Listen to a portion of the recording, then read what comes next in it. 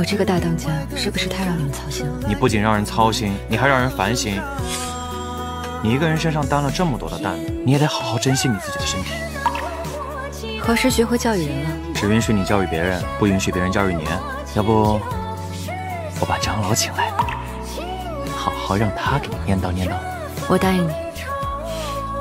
起风了我送你回去好好休息吧。